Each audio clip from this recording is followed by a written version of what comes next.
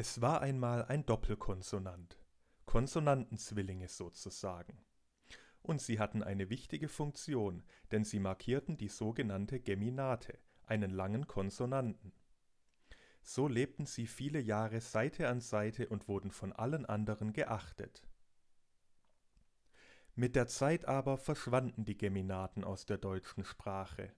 Alle Konsonanten wurden nun gleich lang ausgesprochen und die Konsonantenzwillinge hatten keine richtige Funktion mehr. Und dieselben Leute, die sie zuvor noch gelobt hatten, blickten nun mit Verachtung auf sie herab. Sollten sie sich etwa trennen nach all der Zeit?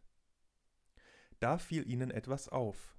Direkt neben ihnen stand ein Vokal, der ziemlich verzweifelt aussah. Er beklagte sich bitterlich. Er wurde kurz ausgesprochen, aber niemand wusste es. Da kam den Konsonantenzwillingen eine Idee. Was hielt sie davon ab, einfach die Kürze des vorangegangenen Vokals zu markieren? Gar nichts. Und sie taten es einfach. Der Vokal war ihnen unendlich dankbar. Und sie waren sogar so erfolgreich, dass bald auch andere Wörter sich ein Beispiel an ihnen nahmen und noch einen zusätzlichen Konsonanten hinzufügten, wo ursprünglich nur ein einziger war.